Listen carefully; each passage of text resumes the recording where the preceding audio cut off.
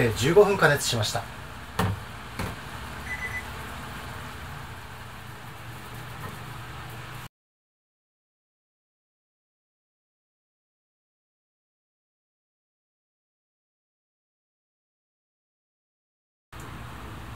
こんにちは。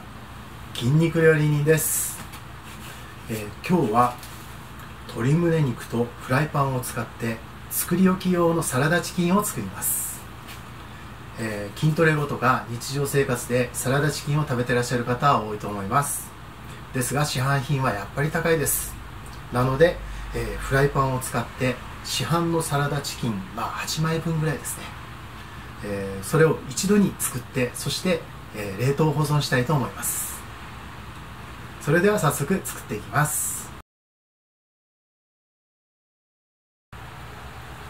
えまずは調味液を作ります。日本酒です。日本酒にレモン果汁を混ぜます。レモン果汁はポッカレモンで大丈夫です。塩を入れます。うまみを入れるために鶏ガラスープの素。そして砂糖で甘みを入れます。そしてニンニクです。おろしニンニク。おろし生姜を混ぜます。えおろしニンニクとおろし生姜はチューブのもので大丈夫です。そして混ぜておきます。鶏胸肉です。鶏胸肉はフォークで全体を刺して穴だらけにします、えー、鶏胸肉ですが、えー、1枚 350g ぐらいのものを使ってください、えー、あまりに大きすぎると、え肉厚すぎて熱が入りにくいです。フォークで刺したら、え黒胡椒を軽く振ります。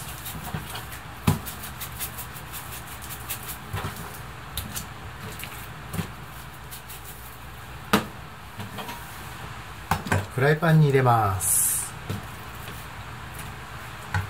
えー、26センチのフライパンで、えー、1キロぐらいいけると思います、えー、混ぜ合わせた調味液をかけます。でかけたら、えー、ちょっと何度か返してなじませます。そしてここが大事なところです、えー、調味液に漬け込んで、えー、室温で15分から30分置きますえー、調味液には日本酒とレモン果汁が入っています、えー、日本酒とレモン果汁の効果で、えー、鶏胸肉を柔らかくします。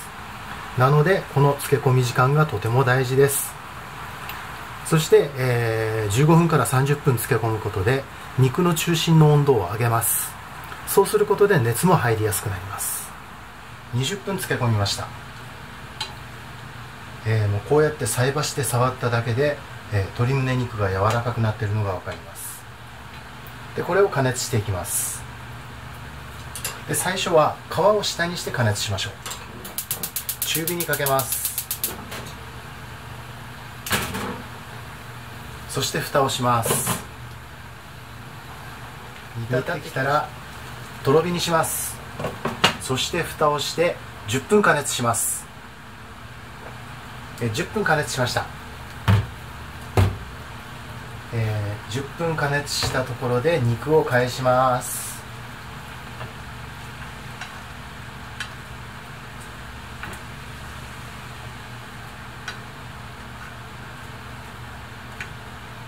肉を返して、えー、もう一度蓋をします。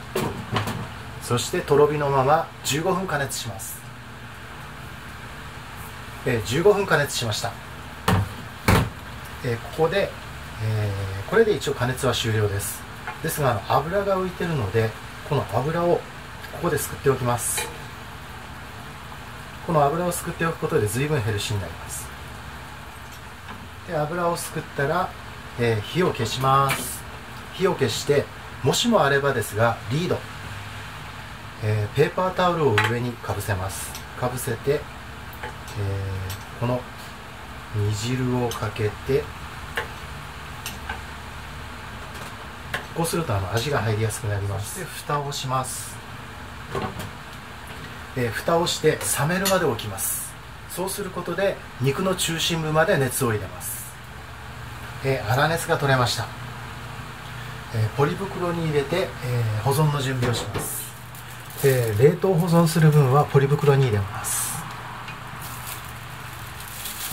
そして、えー、翌日ぐらいまでに食べようかなという分は、えー、タッパーに入れて、えチルド保存します。そしてフライパンには煮汁が残っています。この煮汁を、えポリ袋とタッパーに入れておきます。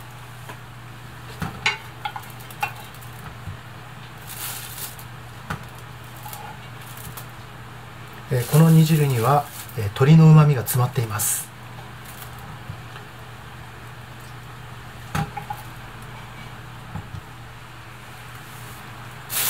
そしてポリ袋は中の空気をしっかり抜いてから、えー、口を閉じます。で冷凍するときには金属製のバットに乗せて、えー、冷凍庫に入れると早く固まります。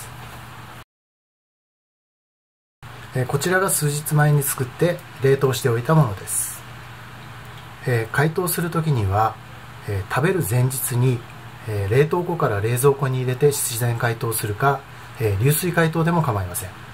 急ぐ時には電子レンジの解凍機能を使ってもいいです、えサラダチキンが冷めたら薄めに切って盛り付けます、え切る時には、え包丁を前後させながら切ると、えー、綺麗に切れます。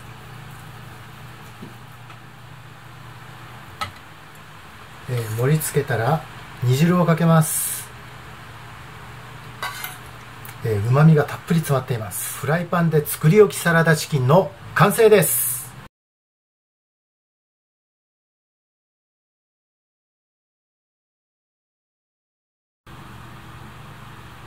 フライパンで作り置きサラダチキン完成しました。